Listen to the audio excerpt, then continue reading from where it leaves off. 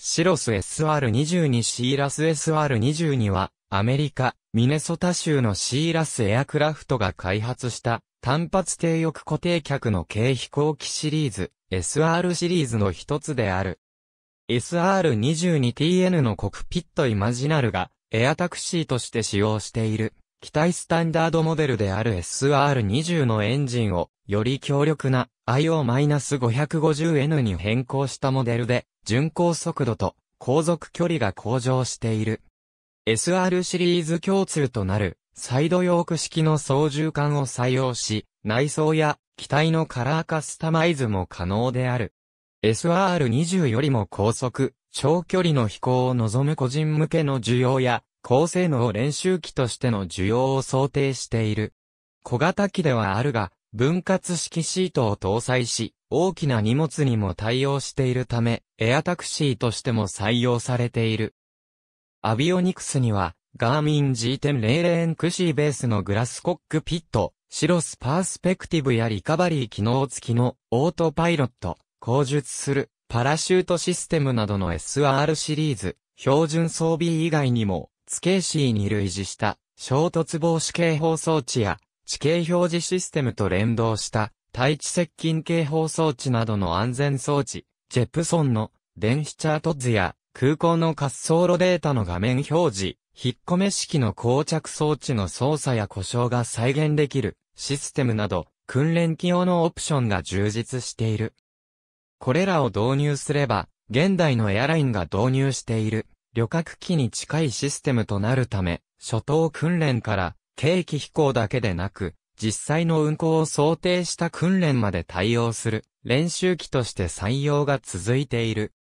民間フライトスクールの事業用操縦士、養成コース以外にも、エミレーツ航空やルフトハンザ航空など航空会社の自社養成用機材、韓国や中国の国立パイロット学校の訓練機などに採用されている。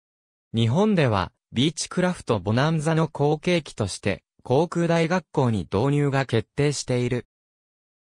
標準モデル以外にもエンジンをターボチャージャー搭載の強 -550K に変更した SR22T も併売されている。2013年 SR シリーズの年間デリバリー機数が練習機として多く利用されているセスナの軽飛行機を抜き、次世代のベストセラー機としての地位を確立しつつある。その中で、最も人気が高いのが SR22T で、それに次いで SR22 の販売機数が多い。SR22T はほぼ個人向けであるが、SR22 は前述のように、高性能訓練機としての需要も高く、一括導入が多い。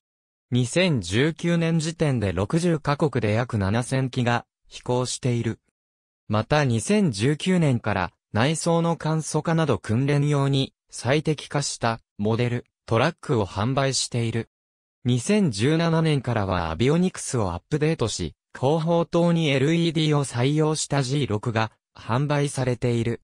パラシュートが開く様子、SR シリーズ共通の安全装備として、緊急用パラシュートを展開するシステムを搭載しており、機体が操縦不能になったり、エンジンが故障して、滑走路外への不時着が避けられなくなった際には、機体背面からパラシュートを出し、機体の落下速度を緩やかにして、軟着陸させることが可能である。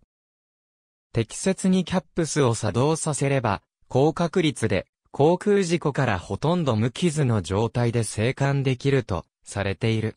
シーラス社によれば、2017年1月現在、このシステムによって146人の命が救われたという。シーラス公式サイトより、シーラス公式サイトより、ありがとうございます。